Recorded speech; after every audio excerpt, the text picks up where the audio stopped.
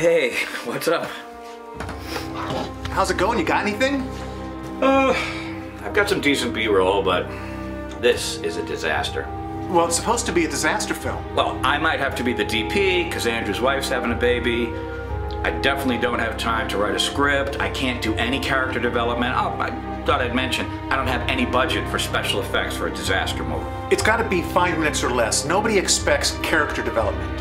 Nobody expects you to make a real disaster film. That's understood. So I don't know what your hangup is. No, you're right. I just don't want it to be lame, you know? What do you got so far? Well, it's got to have an ice cream cone. And it's got to say, here we go again. I know, I know that. What have you got so far? Yeah, I, I was thinking about the ice cream cone. Yeah, it it falls. It slow motion, end over end. Some kid has dropped it. Fiona or Liam can cry. Yeah, that's not what I was thinking, but I do like the visuals. No, what I was thinking was the disaster is when the vegans take over and they ban cows. No cows, no ice cream. Oh, and I can have uh, Carolyn say some non sequitur like, uh, How now, brown cow? Though you play me in the film, and you have to call Carolyn and tell her we don't actually have a role for her. I play you. Look, we both know you're a better actor than I am, and your part's bigger than mine.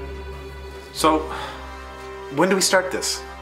We already have. This is a great idea, filming the scene in the basement. Well, I'll tell you what, it ain't much to look at, but there's a lot of advantages to shooting in the basement.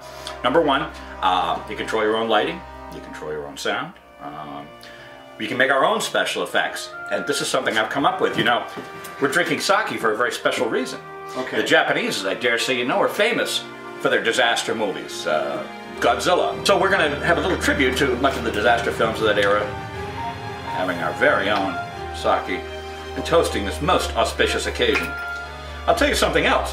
You laugh at basements? That's okay. Irwin Allen, the master of disaster films, Poseidon Adventure, Towering Inferno, Voyage to the Bottom of the Sea, he used to shoot in his basement. People don't know that.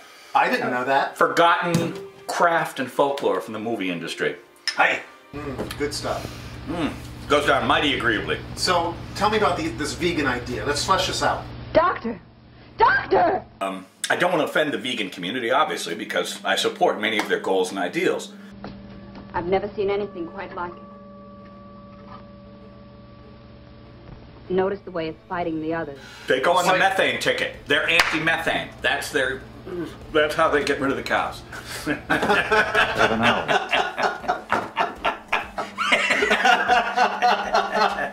what a disaster! But this blood has three.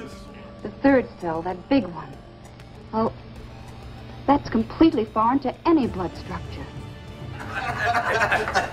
What is a nice car boy like you? I am sort of car girl. I think I'm car boys. It's nothing to do with Blue ribbon, pink ribbon. That's how you know. Boy, girl. Feel that? Feel something?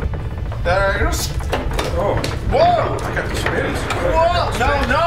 It's an earthquake! It's an earthquake! It's a disaster! Oh, hey, Drew. You're not Drew? Okay, Sean.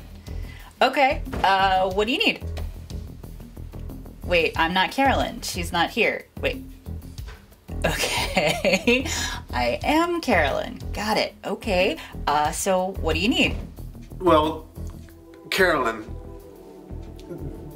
Drew is super appreciative that you wanted to help out on this film. And uh, I mean, and I'm appreciative too. But you don't have a car, and it's kind of hard to go back and forth. Um, we don't have a role for you. Wait, you don't have a part for me in it? Well, why are you calling me? Well, fine. I don't want to be in your stupid film anyway.